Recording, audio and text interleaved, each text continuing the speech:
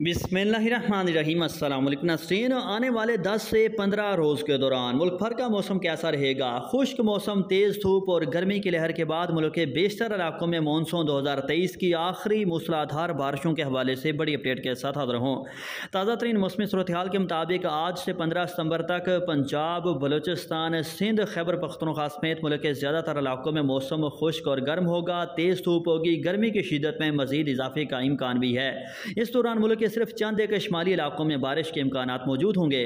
तहम तलवर्स बड़ी खुशखबरी इन सोलह, सत्रह सितंबर से चौबीस सितंबर के दौरान, यानी सितंबर के तीसरे हफ़्ते में मानसून दो हज़ार तेईस एक मरतबा फिर से एक्टिव होने का इम्कान, ताकतवर मानसून हवाओं और मगरबी सिलसिलों के बायस कश्मीर बल्तिस्तान पंजाब, खैबर पख्तनख्वा सिंध समेत सुबह बलोचिस्तान के ज़्यादातर इस्लाम में भी, बल्कि मुल्क के बेशतर इस्लाम में गरज चमक तेजमाओं और आंधियों के साथ मूसलाधार और तूफ़ानी बारिशों के इम्कान रोशन होते हुए, इस दौरान बाद इलाकों में ख़तरनाक मौसमी हालात और शदीद ज़ालाबारी का ख़तरा भी है।